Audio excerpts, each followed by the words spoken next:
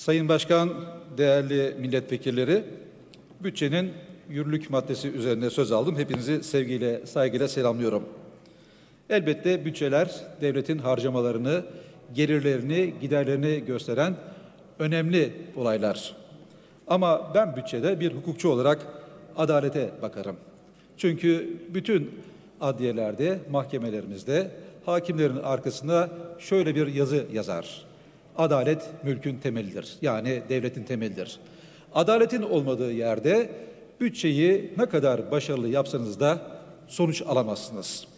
Tıpkı 9 yıl önce gerçekleşen ve 10 gün sonra yıl dönümünü tekrar hatırlayacağımız Uludere olayında olduğu gibi.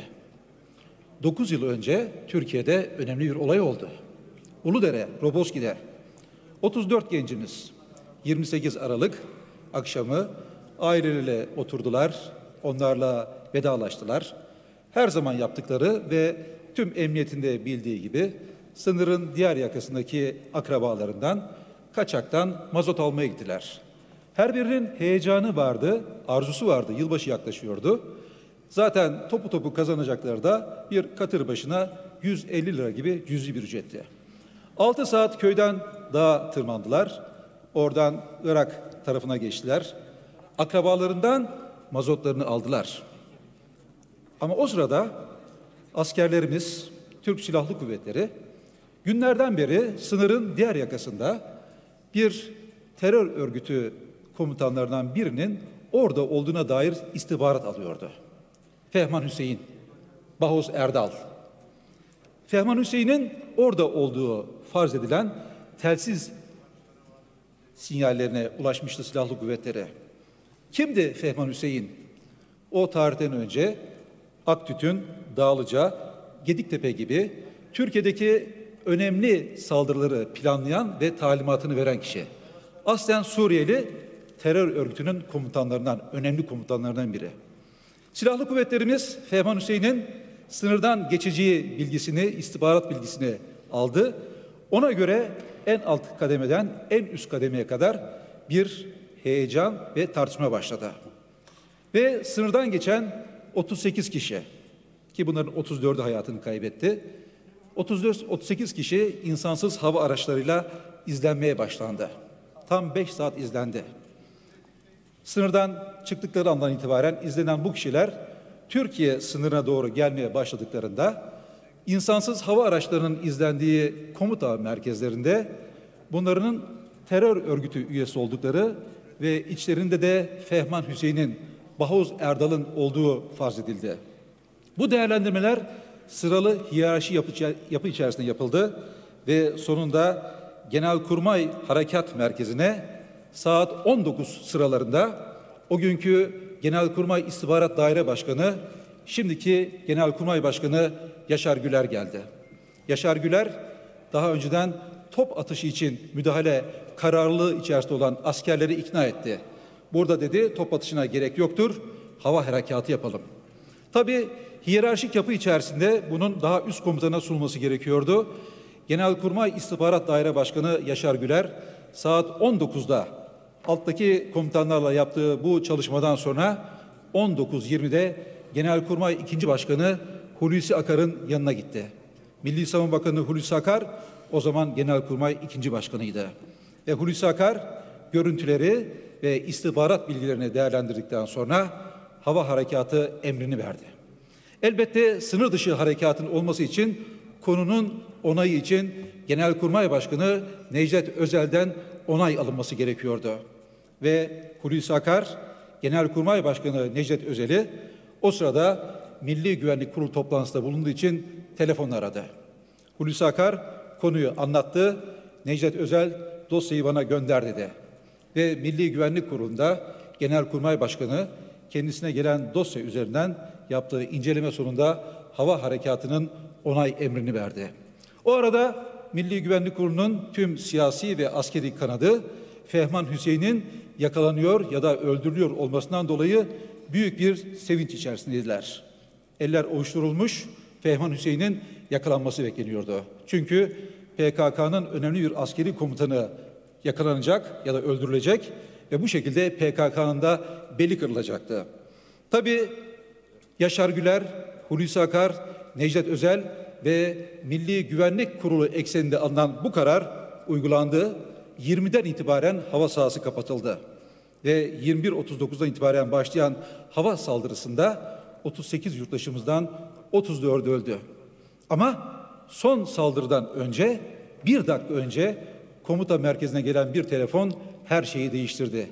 Çünkü vurulanlar kaçağa giden Ortasu ve Gülyazı köyleriydi.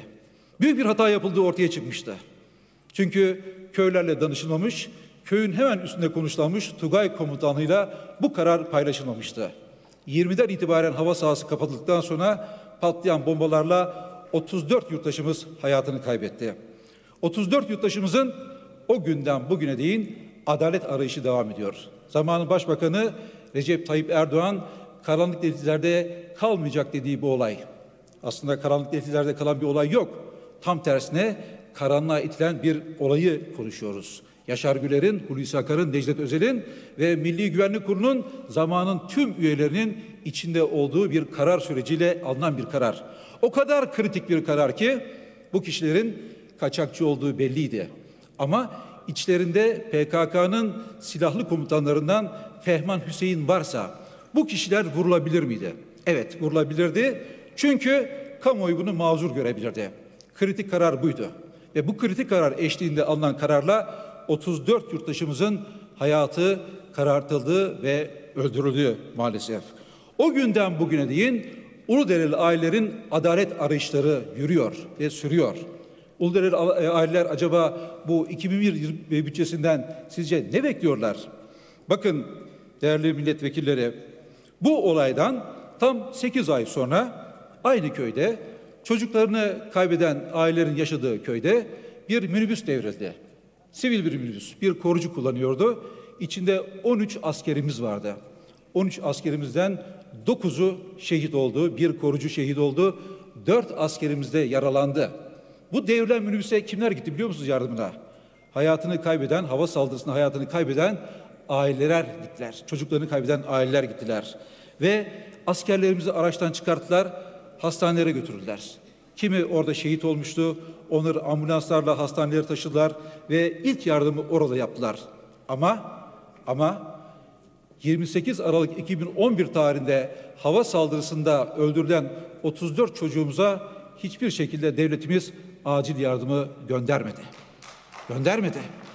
Şimdi değerli arkadaşlarım, o devlen minibüsten çıkartılan askerlerden bir tanesinin başını dizine koyan Emine Ürek oğlu bu hava saldırısında ölen anne şunu söyledi sonradan. Dedi ki kazada yaralanan bir askerin anne diye bağırdığını duydum. Hemen yanına koştum. Yaralı askerin başını yardım gelene kadar dizime koydum. Yerde yaşamını yitiren askerleri görünce oğlum aklıma geldi. İşte bir yandan devletin tutumuna duyulan öfke, öfke bir yandan da bu öfkeyi bastırmak, bastırarak kazada yaralanan askerlere yardım eden bir anne. Bir yanda devletin bombasıyla yitirdiği evladının acısını içine gömen bir anne, bir yandan da bu evlat acısının acısıyla askeri hayata döndürmeye çalışan anne. Devletin savaş uçaklarıyla vurduğu oğlunun acısını içine bastıran anne, devletin silahlı kuvvetlerinin askerlerinin bir kazada yaralanmasından sonra onların hayatını kurtarmaya çalıştı. Bu dünya tarihinde görülmemiş emsalsiz bir örnektir. Bir yıl sonra, üç yıl sonra zamanın Milli Güvenlik Kurulu üyesi ve İçişleri Bakanı İdris Naim Şahin vicdanın sesini dinledi ve mecliste bir basın toplantısı yaptı. Uludere olayıyla ilgili. Güya karanlık tehditler'deydi ya. Hayır dedi. Olay dedi tamamen devletin ve istihbaratın yönlendirdiği bir harekettir. Ve aynen şu sözleri söyledi İdris Naim Şahin. MİT tarafından gönderilen yazılar ve üst düzey MİT görevlisi tarafından Türk Silahlı Kuvvetleri bizzat aranarak Bahuz Erdal'ın, Fehman Hüseyin'in hudut hattını geçmekte olduğu bildirilmiştir. Defalarca teyit edilen bu bilgi üzerine Uludere olayı yaşanmıştır dedi İdris Naim Şahin.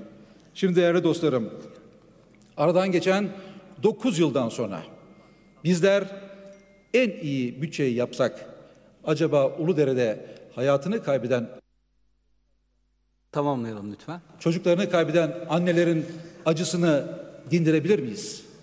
Sizce Uludere karanlıkta bir hadise midir? Yoksa anlattığım şekilde çok berrak olduğu için üzerine gidilmeyen bir hadise midir? Uludere'deki kritik nokta şudur. Uludere olayında zamanın Genelkurmay İstihbarat Daire Başkanı ve şu andaki Genelkurmay Başkanı Yaşar Güler, şu andaki Milli Savunma Bakanı Hulusi Akar, o zamanki Genelkurmay Başkanı Necdet Özel ve Milli Güvenlik Kurulu'nun askeri ve sivil tüm erkanının içinde bulunduğu devletin en üst düzeyinde alınan bir karar olduğu için devletin en üst düzeyi bir kader birliği içerisindedir. Uludere olayının bugüne kadar aydınlatılmamasının üzerine gidilmemesinin yegane nedeni de budur. Hepinize saygılar sunarım.